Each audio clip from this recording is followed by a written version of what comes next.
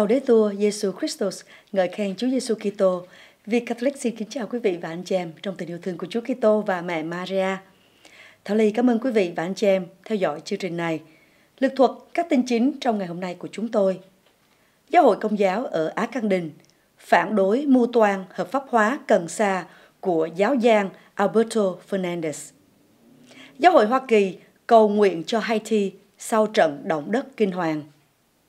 Đức Tổng giám mục Hy Lạp, cần phải có những thay đổi để chuẩn bị cho những thảm họa trong tương lai. Sau đây là phần tin chi tiết cùng các tin khác. Giáo hội Công giáo ở Á Căng Đình phản đối mưu toàn hợp pháp hóa cần sa của giáo doan Alberto Fernandez.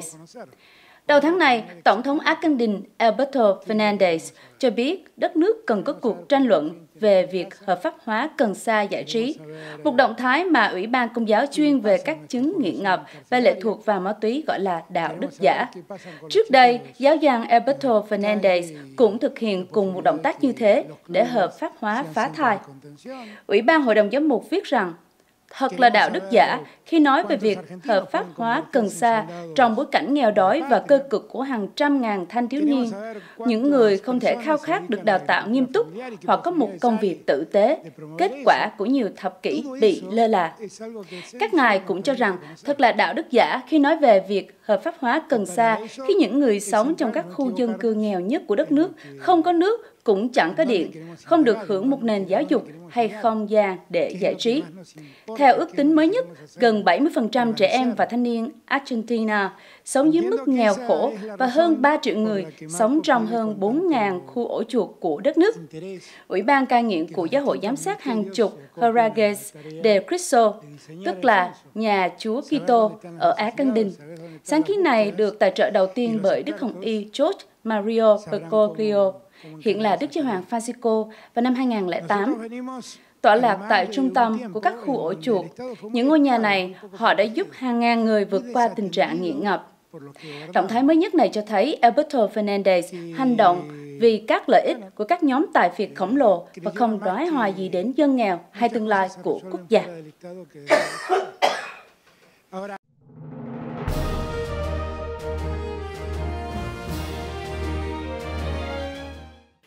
Giáo hội Hoa Kỳ cầu nguyện cho Haiti sau trận động đất kinh hoàng. Chủ tịch Hội đồng Giám mục Hoa Kỳ bày tỏ lời cầu nguyện chân thành cho người dân Haiti, những người đang thương tiếc sự mất mát của những người thân yêu và đang đau khổ sau khi một trận động đất tấn công quốc gia Caribbean vào sáng sớm ngày 14 tháng 8. Hơn 1.200 người chết và hơn 5.700 người bị thương tính đến ngày 15 tháng 8. Đức Tổng giám mục Jose Gomez của Los Angeles, chủ tịch của USCCB cho biết, chúng ta hãy đoàn kết với giáo hội Haiti và dâng lời cầu nguyện, đặc biệt vào cuối tuần này khi chúng ta kỷ niệm lễ trọng Đức Mẹ Hồn xác lên trời. Đức Tổng giám mục Jose Gomez của Los Angeles, chủ tịch của USCCB, nói trong một tuyên bố, trong những giây phút thử thách kéo dài này, mong anh chị em Haiti cảm nhận được sự an ủi, lòng trắc ẩn và vòng tay bao bọc của Đức Mẹ. Đức Mẹ hằng cứu giúp bổn mạng của Haiti, xin cầu bầu cho chúng con. Tâm chấn của trận động đất 7.2 độ Richter nằm cách thành phố Saint Louis du Sud 7.5 dặm hay 12 km về phía đông bắc, nghĩa là cách thủ đô Port-au-Prince 78 dặm về phía tây. Trận động đất bắt đầu lúc 8 giờ 29 sáng giờ địa phương, theo cơ quan khảo sát địa chất Hoa Kỳ. Đức Tổng giám mục Gomez cho biết trong tuyên bố rằng các giám mục Hoa Kỳ dâng lời cầu nguyện của các ngài cho Đức Tổng giám mục Lonay Saturn, Chủ tịch Hội đồng Giám mục Haiti, và cho tất cả những người phục vụ không mệt mỏi các cộng đồng đức tin ở Haiti. Đức Hồng Y Chipley Langolus của Les Case vị hồng y đầu tiên của Haiti đã bị thương trong trận động đất, mặc dù các báo cáo cho thấy vết thương của ngài không nguy hiểm đến tính mạng. Những hình ảnh cho thấy tòa giám mục của ngài bị hư hại nghiêm trọng và mọi người đang tìm kiếm trong đống đổ nát sau trận động đất.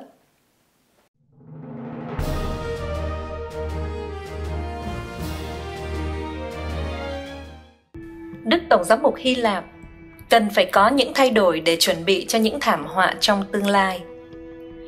Khi làn sóng cháy rừng tàn phá các vùng của Hy Lạp, một tổng giám mục công giáo cho biết có thể cần phải có các chính sách khác nhau để giúp ngăn chặn sự tái phát.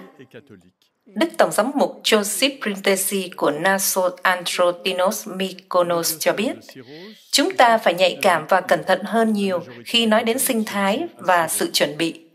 Dù sao thì chúng ta cũng không có nhiều rừng ở Hy Lạp và phần lớn những gì chúng ta có hiện đã bị phá hủy.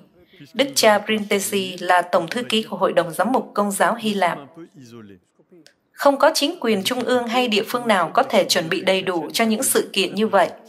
Nhưng chúng ta nên có trách nhiệm hơn với nhiều máy bay và thiết bị hơn, cũng như các quy định chặt chẽ hơn về việc xây nhà và tiếp cận các dịch vụ khẩn cấp. Ngài nói với Catholic News Service. Các đội cứu hỏa từ khắp Âu Châu với sự hỗ trợ của trực thăng ném bom nước đã phải vật lộn để kiểm soát đám cháy rừng đang tàn phá ở các vùng Peloponnese và Attica của Hy Lạp, cũng như trên Evia, hòn đảo lớn thứ hai của đất nước phía đông bắc Athens. Thủ tướng Hy Lạp Kyriakos Mitsotakis đã xin lỗi về những thất bại của chính phủ và xác nhận vào ngày 12 tháng 8 rằng các vụ cháy đã gây ra thảm họa sinh thái tồi tệ nhất trong nhiều thập kỷ. Ông kêu gọi sự hợp tác của phe đối lập trong việc tìm kiếm các giải pháp táo bạo.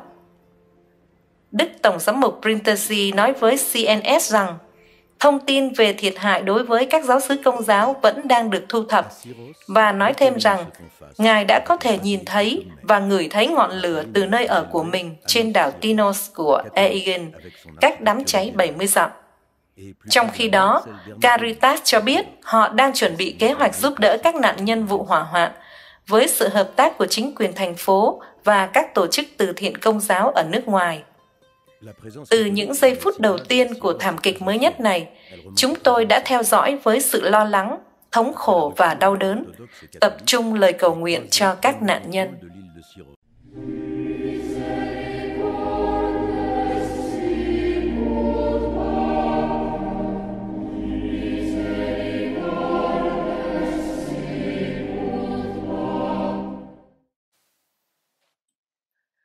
cầu nguyện cho các bác sĩ, y tá và nhân viên y tế.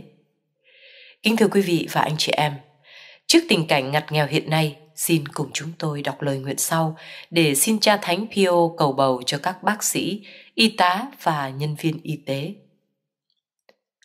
Lạy cha Thánh Pio, con ở đây để cầu nguyện và xin cha bảo vệ các bác sĩ, y tá và nhân viên chăm sóc sức khỏe từ khắp nơi trên thế giới đang chống lại coronavirus và các bệnh tật khác, đặc biệt là những bệnh truyền nhiễm. Trong tình trạng khẩn cấp vì coronavirus, họ đã liều mình để cứu người khác và làm hết sức mình để giúp đỡ và hỗ trợ những người đang đau khổ, đang bị chia cắt khỏi những người thân yêu của họ. Họ dành cả ngày lẫn đêm trong các bệnh viện và phòng khám, nơi liên tục có dòng bệnh nhân chờ điều trị. Họ làm một công việc phi thường để ngăn ngừa và điều trị bất kỳ loại bệnh tật nào và phải đối mặt với nguy cơ lây nhiễm hàng ngày khi làm việc. Lạy cha Thánh Pio, xin hướng dẫn họ chẩn đoán chính xác để các phương pháp điều trị và trị liệu của họ thành công mang lại cho tất cả bệnh nhân khả năng phục hồi. Lạy cha Thánh Pio, khi sức mạnh của họ suy yếu. Xin hãy tăng cường sức mạnh cho họ. Khi hy vọng của họ phai nhạt, xin hãy khích lệ họ. Khi đức tin của họ chùn bước, xin hãy canh tân. Lạy cha thánh pio xin hãy bảo vệ họ và gia đình của họ. Xin hướng dẫn cuộc sống của họ bên trong và bên ngoài bệnh viện. Xin cho trái tim họ rộng mở để luôn giúp đỡ người khác mà không mong đợi được đáp lại bất cứ điều gì. Lạy chúa toàn năng chúa là lương y chữa lành tối cao của chúng con. Xin chúa cho các bác sĩ y tá và nhân viên chăm sóc sức khỏe duy trì sự tin tưởng của họ vào khả năng chữa lành bệnh tật hồn xác của cha.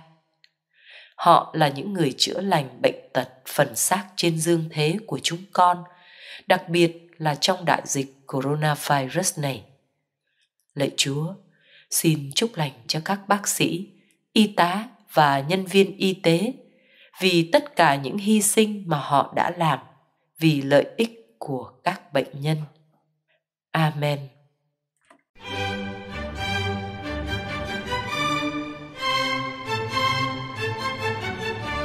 Chương trình của chúng tôi đến đây là hết. Xin quý vị và anh chị em giúp phổ biến rộng rãi chương trình này đến với gia đình, thân quyến và bạn bè xa gần như một cách thức để truyền giáo. Xin cảm ơn và hẹn gặp lại quý vị và anh chị em trong lần phát hình tới. Laudetur Jesu Christus, ngợi khen Chúa Giêsu Kitô.